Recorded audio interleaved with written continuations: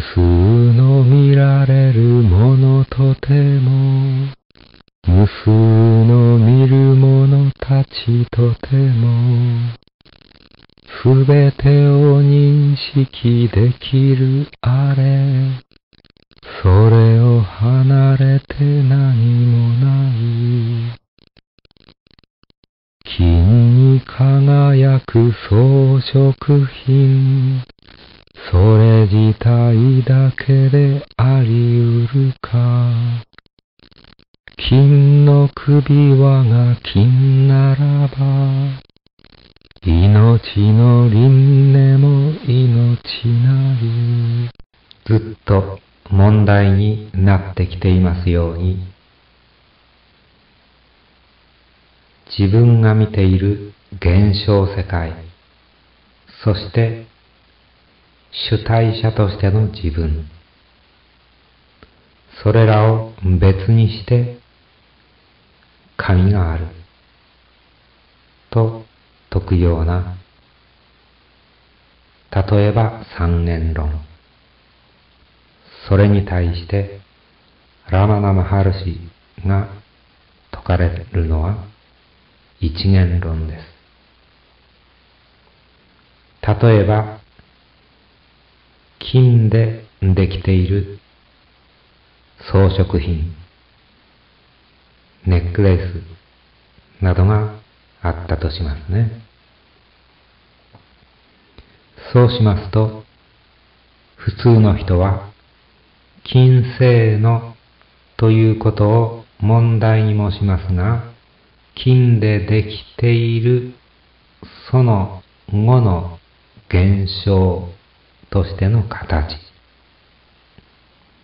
ネックレイスとか指輪とか、どれぐらいの世間的価値、並びに自分にとっての美的価値があるか、という方を問題にして、だんだんだんだん、それが何でできているのかということを忘れてしまいがちです。例えば、金星の指輪とか、あるいはプラチナでできている指輪とか、あるいはまるっきりガラスでできているような装飾品などということになりますと、すぐ素材がわかりますが、現代人はいろいろ便利な機器を持っていますので、例えば、コンピューターが非常に広がってきて、一般家庭にも入り込んできていますね。そうすると、コンピューターとしての働きとか、あるいは外観上の美しさなどにばかり目を、気を奪われて、それらの素材一つ一つが何でできているのかというようなことはほとんど問題にしませんね。また、コンピューターに組み込まれています。機能、働きなども一つ一つの働きを総合的に統合的に見ていくことにばかり目を奪われて、例えばコンピューターのハードがプラスチックや様々な金属などでできているのを忘れてしまいがちになりますように、非常に単純な二進法があれやこれやに組み合わされて複雑な統合的な働きをしているように見えることの方にばかり気を奪われてしまうものです。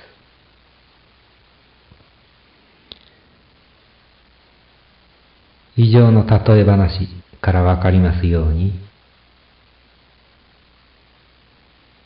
この世に現れたものも、また、ものを働かせている頭脳的な機能も結局は命というものの一発言なのですね。金の首は腕は指輪などが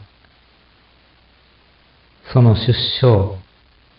常に見ていくならば金であるように私たちの体、心、自分意識とかそうしてその自分が見ている現象世界もすべては命なんですね。命の現象、そして命の輪廻転生なんですね。その現象とか輪廻転生する姿にばかし気を奪われて、すべてはたった一つの命なのだということを忘れているから、自分自身が全体生命なのだということをわからなくなってしまうんですね。ここに出てきています。金の首輪が金ならば、命の輪廻も命なり。ということをしばしばお考えになってみてください。輪廻というのは首輪の輪に引っ掛けてそのように表現していますので例えば命の天生とか命の生じとか言っても別に構いません。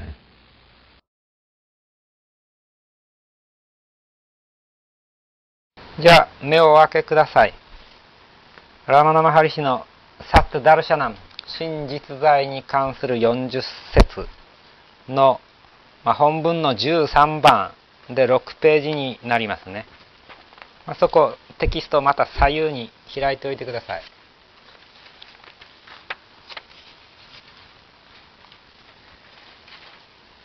Consciousness, the self is real っていうところです。consciousness。まあ普通は意識と訳されますね。これまでに出てきた単語では他に awareness というのがありましたね。で、いずれの場合でもサンスクリットの chit, cit, chit の英訳であるということを念頭に置いててください。で、chit っていうのは、まあ意識と訳しても、あの、意識を例えば全8式と分けた場合、先ほどの図解で言いますと、3ページ、3ページの右の方ですね。3ページの右の方に18回って書いてあるでしょ。対象である色証項民則法を自分の現 GB 絶心意という六根が捉えたときにその判断しているのは第六意識ですから一般的にはですね知覚あるいは判断作用っていうのは僕たちの第六意識と呼ばれるところです。脳の判断作用のことです。じゃあその脳で判断しているっていうのをね、あの認識できる意識は何なんだろうっていうことですね。そうすると、私が判断していると、私という意識があるわけです。ですから単なる判断作用を支えているのは私という意識ですね。つまり第七マナ式です。じゃあその第七マナ式に私という意識をの力をこう送ってくれてる式は何だ何なんだろうって見ていくと第八荒屋式っていうことです。で第八荒屋式記憶というものがある。私というものがありね。記憶というものがある。というのを認識できる式は何だろうっていうことです。それがチップ。でそこを有意識の方では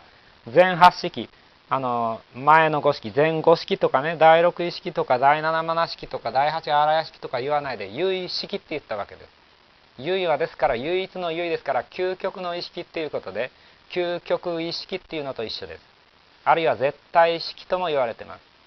アブソルートコンシャスネスとかいう表現も使われています。絶対意識とか究極意識とか唯意識あるいは唯一の意識。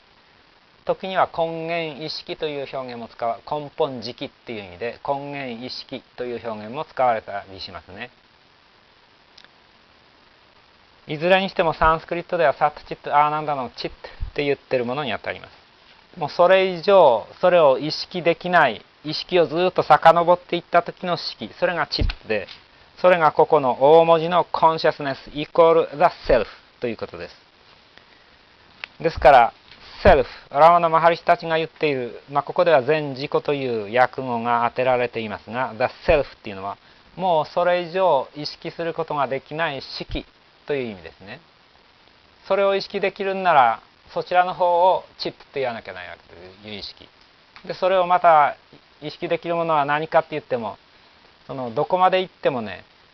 究極的に認識している式そのものを認識できるものはないっていうことです。そこのところをチップっていう表現であのまあ言って表しているわけですね。という名称でああの、まあ、名前を付けただけですね。ですから私の第六意識で判断していますっていう時には私のっての、ね、所有格がつくから私の方が第六意識第七マナ式が第六意識を支えてるっていうことですね。それで有意識のところを屈式っていう場合もあるんです。第9番目の意識で屈式って後からね分類した人たちもいるんです。まあそうするとさらに細分化されますのでね僕は8で止めてあとはそれ以上の究極のところはね空10だって言わないで有意識っていうようにしてます。でないといくらでも増えていきますんでね。唯一の意識である全自己が is real 真実在である。そうするとそれから出てきた表面的な意識。まあそれは真実在ではないっていうふうにも取れるでしょ。一応そのようにしてもいいんですけれども理解が深まった場合には前後式とか第6意識とか第7マナ式第8荒屋式と言われるものは有意識の一局面を指しているのである。ですからそれらも真実在である。真実在というのは全体生命ですから一切合切ですね。でもそれなくしては例えば有意識なくしてはね第7マナ式とか第6意識とかあるいは第8荒屋式とかはありえないわけです。僕たちが素顔を持っているからなんか仮面かぶれるんであってね。その素顔にあたるものそれを真実在とアラマナマハリシュはあの言っているわけです。ただ別なところの説明ではその真実在から出た現象も真実在とともにあるから一旦悟ってしまえば全てが真実在です。って言ってますので第7マナ式第6意識前後式とか右根人とかそれから法。自分と対立する現象一切。などもリアル真実な在なのですって言ってますね。悟りを得ていない間は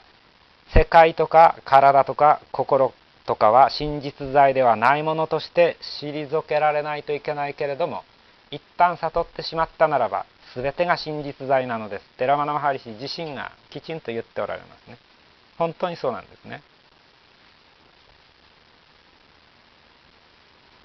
そこのところよろしいでしょうか？ですからここのコンシャスネス The Self っていうのは、まあ、あの分類された式じゃなく唯式第8荒屋式までの分類された全8式じゃなく唯式のことをオラマナは主に言っているのだっていうことですね。それをまだ悟っていない人たちに分からせるためにこのような表現をしているのだっていうことですね。悟ってみれば全てが有意識なんですね。有意識を離れて何もありえないというのは有意識と有意識から出た何か脳変転変したものがあるんだろうっていうことを想定させますがそれはまだ浅い段階の理解で。有意識を離れて何々がないないではなくね全てが有意識なのです。全てがコンシャスネス The Self なのですっていうことですね。全てが神なのですっていうことと一緒ですね。神と自分と世界があるのではなく全てが神だっていうことですね。あるいは全てが文字通り全体生命だっていうことですね。The many forms cannot exist apart from it. The many forms 多数の形あるいは形態は最後の it それカタカナで書いてあるそれっていうのは上の consciousness とか the self とか real などを指しています。それ apart from から離れてそれを別にして cannot exist 存在し得ないあり得ない。ですからここでは例えば真実在という現象の源泉ね出所とそれから the many forms という現象多数の形態としての現象と2つに分けたとしますね。仮にそう分けてみたにしても the many forms それらの多数の形態という現象はリアル真実在であるコンシャスネスあるいは the self を離れてはありえないっていうことですね、まあ、そういうような説明の仕方です。でこれをよく分かるためにはね次の比喩が役に立つっていうことでこれは別にラマナマハリシのね千倍特許じゃなくてインドで昔からあの用いられている比喩で特にベーダンティンたちダヤーナンダ先生とかベーダンティンたちは好んで用いるあの比喩ですベーダンティンたちがね好んで用いる比喩比喩にはヘビとロープっていうのとこの金と装飾品っていう2つの代表的なものがあるわけですまず金の方から見ていきましょう Can the different ornaments exist by themselves? Are they apart from gold? っていうところですね。The different ornaments これは様々な装飾品は can exist であり得ようか by themselves それら自体だけで。まあ例えばイヤリングとかブレスレットとかいろいろな金で作ったあるいは金メッキのね装飾品ペンダントとかあれこれありますでしょ？あるいは金の延べ棒とかね金メダルとかね。そういうようなものは Are they apart from gold? その素材の金を離れてあり得るだろうか？あるいは金と別物と言えるだろうか？というようなことですね。まあ、例えばオリンピックであの日本が金メダルを取ったとね金メダルを首にぶら下げて帰ってきて記者会見で見せたりするでしょそうすると彼らは金メダルだと思うしマスコミの取材陣もね金メダルだと思うしそれから新聞とかテレビなどの報道を見る人もあれは金メダルだと。メダルに重点を置くわけです。それは金ですねって言ってメダルじゃなく金ですねって言っても彼らは納得しないでしょう。自尊心を傷つけられるし。金じゃなく金で作ったメダルを我々が一になって勝ち得てきたんですって。その金の何々の方に重点を置くわけですね。でもラマナマハリシならばそれは金です。金と離れて一体金メダルがあるでしょうか？銀と離れて銀メダルがあるでしょうかということですね。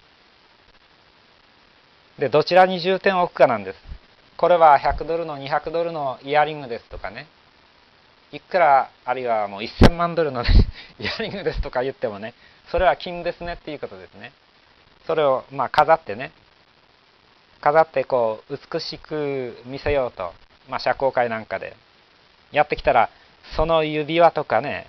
あの耳輪とか首輪とかねペンダントとかそれは美しいですねっていうふうに褒めてほしいわけでしょ。まあそれは素材は金ですねって言っても喜ばないわけですね。でそれをした自分が美しいと褒められれば非常に満足するわけですね。まあ、例えばそのまあイヤリングならイヤリングね。は美しいですがお顔ではお顔はさほどでもありませんね って言ったらそれはもうぶち壊しになるでしょ？ですからそれをしている私が美しいと思われたいっていうまあ計らいがあるわけですね。でまあもっとぶち壊しはあのお顔もねそのイヤリングも別にどうっていうことはありませんがそれは純金でしょうねメッキじゃなく純金だと私は信じますってこう言っても喜ばないわけですねですから現象世界でのね比較競争美しいとかもっと美しいとかそういうことにあの人間は価値を置くわけでしてそれが純金かどうかっていうことももちろん問題でしょうがもちろんメッキじゃなく純金の方がいいんでしょうがその純金であるとかそういうことじゃなく純金で作ったものを私が所有していてそれをつけている私はどうでしょうってまあ見せびらかしたいっていうんですかね。装飾っていう言葉がまあ表していますようにね。装飾された私が美しいでしょうっていうことですね。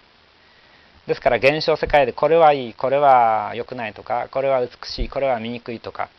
そういうようなことに価値判断を置くとしたらそれは分別好きな人々っていうことですね。で平等感。どのようなどのように加工されようがどのような付加価値があろうが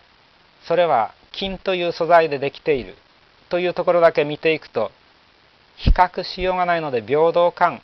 というものが出てきますね全ては平等であるイヤリングだろうがブレスレットだろうがね金メダルであろうが全ては金という同じ素材でできているということでまあ賞賛もですねそれからまあ批判もないわけです。起用方変がないわけですね。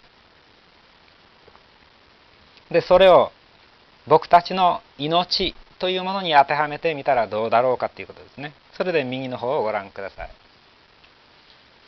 の金、上の命じゃなく下のまず金からいきますとね、金から指輪とかメダルとか金の延べ棒とか出てきますでしょ。そうするとラマナマハリシが言いたいのは指輪もメダルも延べ棒も金ではありませんかということです。金というのは自然界の産物です。それを加工したのが人間界の世界で指輪とかメダルとか延べ棒ですね。で、その上の命を見てください。金にあたる命というものがありますね。で、命を無数の我、無数の我っていうのは我と思っているエゴがたくさんいるので無数の我って書いてあるんです僕も我と思ってるし皆さんも我と思ってるからここには30人の我がいてそのそれぞれの我がね対象を見てるわけです世界を。例えば30人いて僕が29人を見たとするともう一人別な人は自分を一人と数えてもう29人を見ているわけです。それが自然界の現象となると無数の対象を見ているというよりほかないでしょうね。毎日毎日いろんな対象に出会いますんでね。数えていったらきりがないわけです。そうすると無数の我が無数の対象を見て我々って分割されていきますでしょ。分別も分ける分けるですね。で我と対象が分かれて我々我々全体ではなくここに分割されていくっていうようなことですね。で我々の我の方ですね。自分はその私がいてそれから他のこういう人たちとか動物とか植物がいてそういう世界に自分の第六意識がどっぷり使ってるわけですね。ところがラマナマハリシたちはその無数の我とか無数の対象とか出てくる元の一つの命を見てるわけです。どちらを見るかですね。金を見たら金しかないんですが指輪見るとこれは指輪。メダル見るとこれはメダル。延べ棒見るとこれは延べ棒って名前がついてますでしょ。それで名言実家ね。な名称言言葉。言葉をもって名前をつけて分別するという実家分別無性がやまないわけです。ですからそれはほどほどにしてその分別しない実家ね。今度は禅の訓従としては無分別実家をねどんどん入力していかないといけないということです。あの幼稚園生まれてからあの大学など社会を経て僕らが獲得できる実験って言ったら名言実験ですあるいは分別実験って言ってもいいでしょう。でヨガで教えるのは無分別実験を禅の訓従として入れなさいっていうことです。ですからそれやんないとしたら無分別のね実験の入力を教えないヨガとか仏道修行とかあるとしたならそれはまあ洋画でもないし仏道修行でもないと僕は言うわけです。その決め手になるのは分別している。他をね無数とも思われる対象を分別している我です。自分。ですから自分に着目しない。自分は小文字のセルフ。あるいは道元禅師たちは語がという表現を用いています。語我。が私ね。我我。それも 我々でしょ。全部割れちゃうのね。語が。あるいはエゴ。あるいは小文字のセルフ。それが脱落していくこと。脱落すればその対象も脱落するので命一つになってしまうわけです。仏の御命っていうことになっちゃうわけです。あるいは神あるのみ。あるいは全てがブラハマン。全てが全体生命。とこうなるわけですね。でそれを意識に当てはめると命と金の下にね式って書いてありますね。その式は有意識のことです。唯一の唯を入れるといいでしょう。サンスクリットではビジュニャーナと表現されてますがあの有意識30字ではビジュニャーナ。有意識のことはビジュニャーナという言葉で出てきますね。有意識。それが初変っていうのは転変していく変わっていく。変化していくことはパリナーマと言います。のたった一つのビジュニャーナ有意識。ビギヤーナっても発音します。ビジニャーナあるいはビギヤーナが第8荒屋敷とか第7マナ式とか第6意識とかあれやこれやに分分別された方は初変と言いますね。変化したところ変化した対象っていうことですね。初変の書はねところっていうより対象っていうんですね。仏教で能書って言ったら能力の能を書いたら主体のことです。自分の方ね。書って言ったら対象の方です。ですから有意識からしたら分割されたその見られる方の対象っていうことですね。で変は変化。第一脳変とか第二脳変第三脳変とかの変変ですね。ですから命とかね金とかビジュニャーナ式を見るのかあるいは無数の我が見ている無数の対象とか、まあ、例えば指輪メダル延べ棒とかね。あるいは第8荒屋敷の記憶が第7マ式が第6意識の判断がとかね51の真珠があってそっちを見るのかで全然違うわけですね。でアラマナハリシが言うには例えば指輪とかメダルとか延べ棒もね金がなくて金がなかったならあり得るだろうかそれと同様にって彼が言いたいのはねそれと同様にたった一つの命あるいは有意識となかったなら一体我とかね我が見ている対象とかありえようかっていうことです。で命から無数の我や無数の対象が出てきたりするそれは金から例えば指輪が作られメダルが作られそしてまた延べ棒などが作られるようなものだそこを理解しなさいよっていうのがこの13節の教えですね。まあそこは理論的には何も問題ないと思います。そうして一旦悟ると無数の我を見ても無数の対象を見てもそれは即命だと。いつでもそう思えるのでそれがセルフアバイダンスね。全体生命に従すること。全体生命を離れないことねですから一旦悟ってしまえば命から出ているあれやこれやの分別されるように見られるものも全体生命として把握されるから問題ないだからラーマナマハリシは無数の我。我に向かってあなたは命なのですよ。あなたは無数の我じゃないですよ。無数の我じゃなくたった一つの命ですよってそちらを言うわけです。無数の我に対してね。無数の我は言われても我は我だと思ってるから命のことわからないわけです。あなたはセルフなのですよって言われてもわからないわけですね。セルフってアートマン、ブラフマンって別にあるんだろうと勘違いしちゃうわけ。ですね。